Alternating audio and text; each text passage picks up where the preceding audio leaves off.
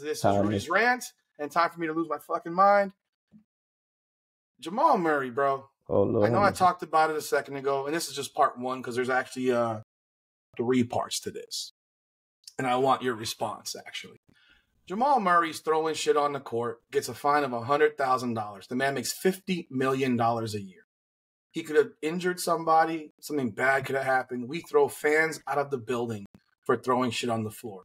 How in the world do we have a lower standard from the players on the bench? What is going on that he can do that? Not even get so much as a technical foul called on him in the game, not ejected from the game. He should have been ejected, not a technical. He should have been ejected. And I don't want to hear, oh, he doesn't have a history of doing bad shit. I don't care. I do not care because if someone had rolled their ankle and gotten badly hurt, that and from the primarily from Minnesota, because if it happened in Denver, he'd have to answer that in his own locker room. But if it happened to someone from Minnesota, like like Ant or KAT or one of them big time dudes, obviously Gobert wasn't there to get hurt, so you know he's the biggest time of them all. I'm kidding. Um, but if one of those big time dudes gets hurt, that drastically, dramatically Im- impacts that series and the chances for the T Wolves to win a championship. I think it's despicable. It disgusts me. And I don't care if he held, if he's holding himself accountable now. I don't give a fuck. Did he hold himself accountable when he did it? No, he did not. He hid. He threw a towel that actually went right at the feet of a referee on the baseline, and then he threw the freaking heat pad, which ended up in the freaking key of the of the game. And it was hit. Luckily, no one got hurt. But we're sitting here accepting this. This is a problem that I have with Adam Silver as a commissioner. He's an absolute fucking pussy of a commissioner. God damn. Kisses players' asses. Oh Lord. David Stern would have suspended him absolutely for at least a game. I think she's suspended for the duration of the series. God I don't damn. even care anymore. What's wrong? That's, I'm just saying you're harsh.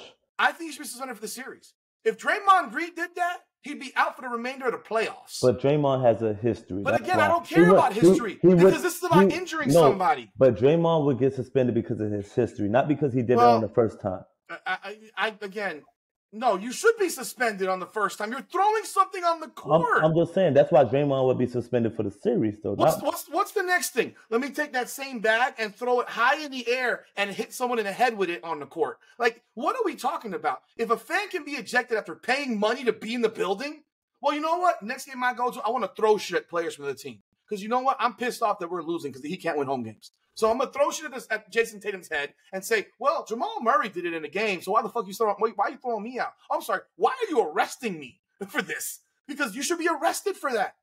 That's a crime. If he had hit someone in the head with this shit, he could go to jail for it.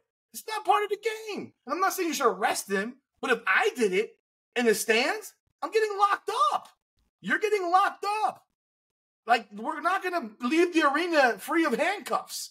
And it's really frustrating because this MB, the NBA does this nonsense with these players and they preach all this safety. Your player created as unsafe a possible environment as is, as there is because he was getting his ass torched for no other reason other than he was frustrated.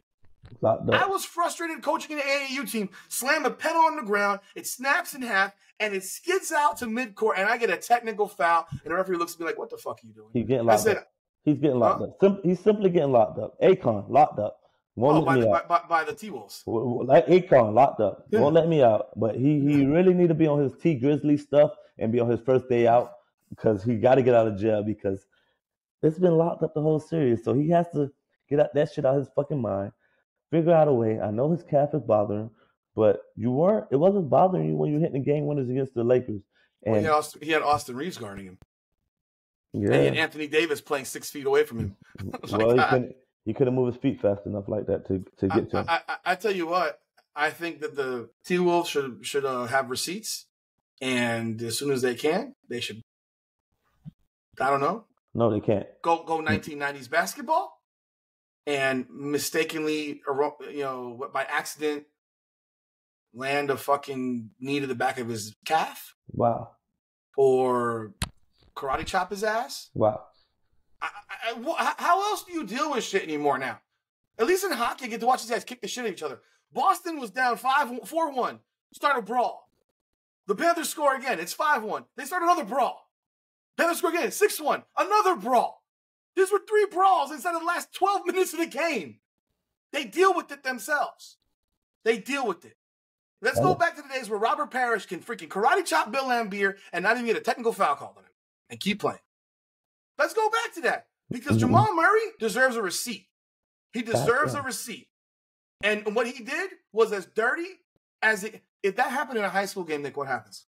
You, don't play in the rest of your career. You're done. I mean, Your, your, your season in high school is over. yeah, but It's it's over. But what else might happen? There might be a brawl. yeah, from fans coming up. From fans because but- they have access to the court. Yeah, they don't have the security like, like they do in the NBA. Security's on. not there. If that happened in a high school game, there's a brawl, and that kid who did that is not playing the rest of the season. And it doesn't matter if it's you, Peacock, Marcus Allen this year, any one of the stars from Northern High School, or Cooper Flagg from Montverde, they're not playing again. But we're allowing a guy to get a hundred thousand dollar fine, bro. He should have been fined ten million dollars if you're not going to suspend him. God damn, It sounds fucked up, but he makes fifty million. God damn, Rudy. James Harden spends a 100K at the strip club in a night. Come on. All right, That's part one. okay. Thank you for watching Come On Now, the podcast. Please be sure to subscribe, like, comment, and ring that bell so you get up to the minute updates when we publish new content. You can also find us on Facebook and Instagram at Come On Now Podcast and X and TikTok at Come On Now Pod. Thank you again for supporting this channel.